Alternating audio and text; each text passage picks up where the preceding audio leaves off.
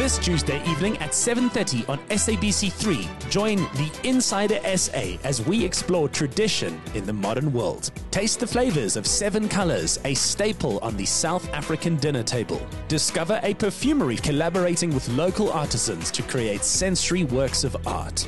And see how one local tech company has changed the way we learn. The Insider SA, Tuesdays at 7:30, repeat Saturday nights at 8, only on SABC3.